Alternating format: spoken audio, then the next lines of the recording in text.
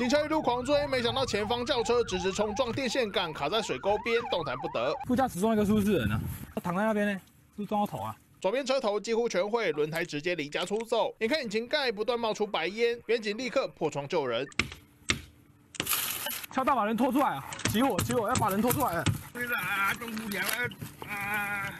好，人人起来，人起来，人爬出来，把他拖出来，把他拖出来，快点！车头火神猛窜，驾驶死命挣扎，钻出车窗，奋力纵身一跳，惊险逃生。事发在新竹湖口乡，五十多岁诚信毒品通缉犯开车行经中山路时，因转弯未打方向灯，警方随即鸣笛拦停。陈姓犯嫌猛踩油门加速逃逸，疑似过弯失控，当场直撞电线杆，翻落农田，起火燃烧。严警见状，随即以破窗为盖，敲打驾驶座车窗，将驾驶拉出座位，确保嫌犯安全，并通报消防队到场抢救伤患及扑灭火势。诚信毒品通缉犯幸运保住一命，警方也起获毒品安非他命一点一七公克等赃证物，需要以毒品罪嫌移送新竹地检署侦办。最后，目前总长陈冠宇新竹报道。